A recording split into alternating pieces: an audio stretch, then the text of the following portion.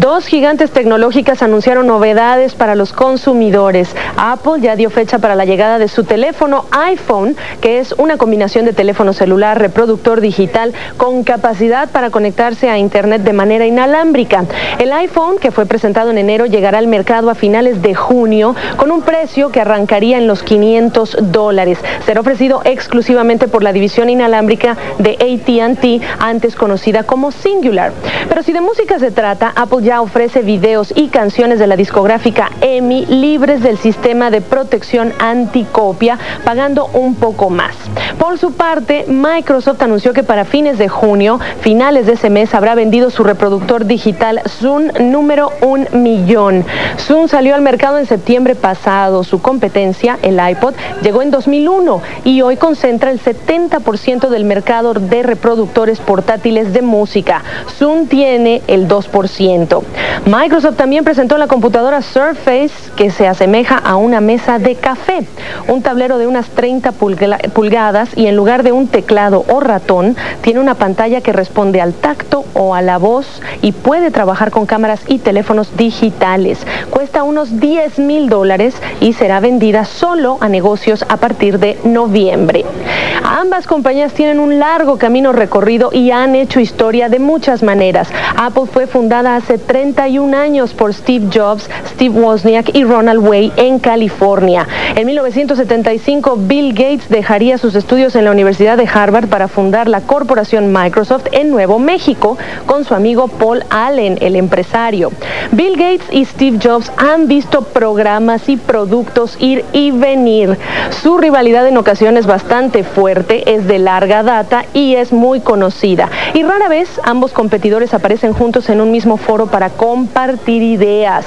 Hasta hace unos días, cuando ambos líderes hicieron parte de una conferencia en California, durante la cual se habló del momento que vive la industria tecnológica.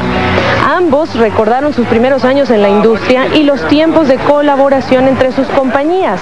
En esta conferencia, cada uno debió mencionar la contribución más importante del otro al desarrollo de la informática.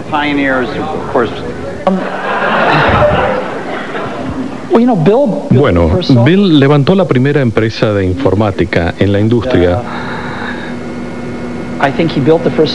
y pienso que lo hizo antes de que se tuviera un concepto claro en la industria de lo que era la informática, excepto ellos. Y eso fue algo enorme realmente enorme. Lo que ellos hicieron funcionó bien, el modelo comercial funcionó bien, bueno, primero vamos a aclarar que yo no soy una imitación de Steve Jobs. En un discurso, uno de mis favoritos, él dijo una vez que en cierto modo nosotros construimos el producto que nosotros mismos quisiéramos utilizar. Y él lo ha hecho con mucho gusto y elegancia y ha tenido un enorme impacto en la industria. Y su habilidad para siempre darse cuenta de cuál debe ser el siguiente paso. ha sido algo fenomenal. Apple se estaba hundiendo cuando Steve regresó y revitalizó a la empresa con innovación, asumiendo riesgos. Ha sido algo fenomenal y la industria se ha beneficiado enormemente con ello. También dijeron ambos que existe una relación muy especial y muy positiva entre el equipo de Microsoft que desarrolla programas para la Mac y el equipo de Apple. Por años la rivalidad de ambas compañías se ha visto reflejada en sus anuncios publicitarios. Los más recientes son protagonizados por dos personajes, Mac y PC. Son promovidos por Apple y Apple busca aumentar las ventas de sus computadoras. Apple explica en estos mensajes que sus Macs son más sencillas de usar, más modernas, hay más cosas que se pueden hacer y que el riesgo de ser infectada por un virus es mucho más bajo que el de una PC. Aquí un ejemplo. Hello, I'm a Mac. And I'm a PC. Mac, I'm going to be going away for a while. Oh, where are you going? Well, over to IT. I've been getting these funky error messages. They keep popping Oh, that's annoying. I'm sorry. but- WMP.dll. What? I don't even know what that means. It just happens. Do you know what it means? No, no, Max, don't get those cryptic error messages. Are they sick too? Oh, yeah, oh, yeah. He's uh, error 692 and then syntax error down the end. Down here. Fatal error. Yeah. Don't worry, pal. You'll be up and running spreadsheets in no time. He's a goner.